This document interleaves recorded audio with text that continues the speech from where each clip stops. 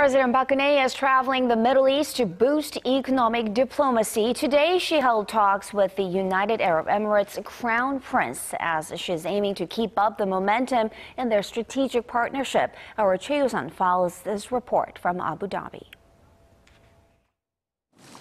In a deal signed Thursday, Seoul and Abu Dhabi agreed to share halal food technologies and market and certification data.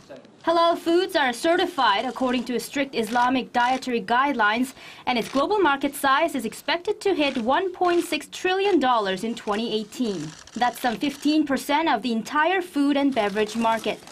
Sealing this deal paves the way for Korea to develop its own halal certified products, which it anticipates will double its current $700 million halal exports by 2017.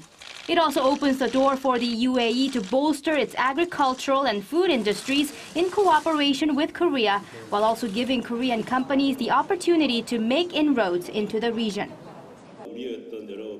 We expect to make another big leap in the agricultural industry if Korea enters the Middle East with high-quality halal and agricultural products.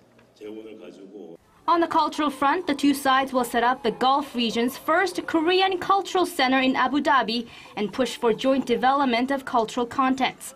This is in response to a growing Korean population in the UAE and the UAE's interest in Korean culture and language thanks to the popularity of Korean TV dramas and K-pop. Seoul and Abu Dhabi also agreed to upgrade their collaboration in healthcare, oil field development, and infrastructure. Forging a nuclear cooperation deal in 2009, the UAE became Korea's first strategic partner in the Gulf region. And President Park's office says the leaders of the two sides met three times in the past year alone, which goes to show how committed they are to the partnership. Choi You-sun, Arirang News, Abu Dhabi.